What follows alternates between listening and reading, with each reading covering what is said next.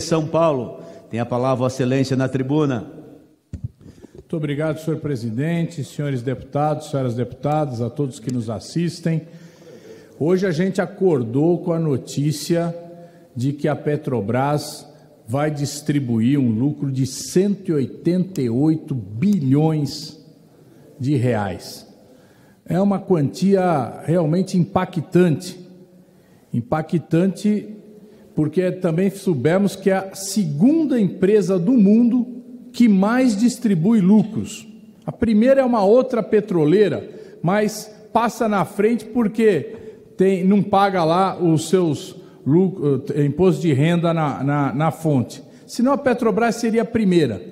O fato é o seguinte: nós acabamos de vir do Palácio do Planalto, onde o presidente da República relançou o programa Bolsa Família para atender mais de 20 milhões de pessoas, de famílias em nosso país.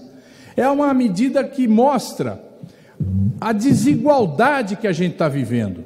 Enquanto alguns têm lucros bilionários com os recursos da Petrobras, é bom lembrar que dois terços dos acionistas da Petrobras são privados e 40% são estrangeiros.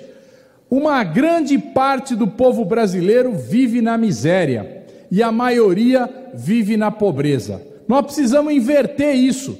E inverter isso começa por mudar essa situação. A Petrobras não pode ser uma empresa exportadora de óleo cru.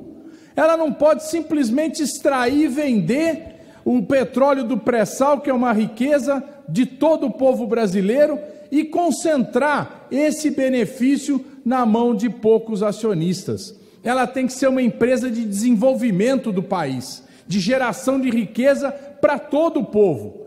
E a começar por mudar a política de paridade internacional de preços, que é um verdadeiro absurdo que, tem, que foi colocado, se iniciou lá no governo do Temer e prosseguiu no governo do Bolsonaro, distribuindo bilhões e bilhões de reais de lucros e dividendos. Isso precisa mudar. Nós precisamos de uma empresa que garanta combustível é, é, para todos os cantos do país a preços acessíveis.